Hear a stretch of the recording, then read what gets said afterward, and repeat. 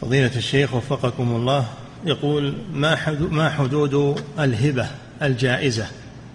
بمعنى هل للأب أن يعطي كل ما يملك لأحد قبل وفاته؟ ما يجوز له يعطي ماله كله يقعد بدون مال ما يجوز له هذا. ما يجوز له يقعد بدون مال يعطي ماله.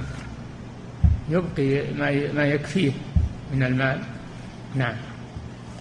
إعداد مشروع كبار العلماء بالكويت أعزها الله بالتوحيد والسنة.